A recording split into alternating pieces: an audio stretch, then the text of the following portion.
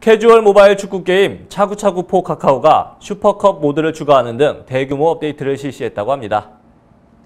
차구차구 for 카카오는 친근감 있는 SD 캐릭터와 모바일에 최적화된 간단한 조작 방식 등으로 남녀노소 누구나 쉽고 즐겁게 플레이할 수 있는 캐주얼 축구 게임인데요. 이번 업데이트에서는 모든 이용자들이 함께 경쟁할 수 있는 전국 랭킹 배틀 시스템 슈퍼컵 모드가 추가돼 관심을 끌고 있습니다. 슈퍼컵 모드는 기존의 배틀 모드와 비교해 보상이 대폭 상향됨은 물론 나의 전국 순위도 확인할 수 있는 것이 특징이고요.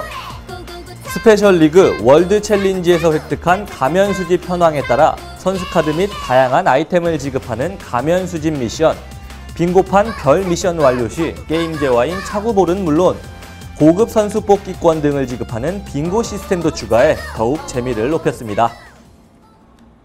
한편 이번 대규모 업데이트는 안드로이드에서만 적용돼 iOS 유저들이 상당히 안타까워했다고 하는데요. 조만간 iOS 버전으로 업데이트 된다고 하니 조금만 기다려 주시길 바라겠습니다.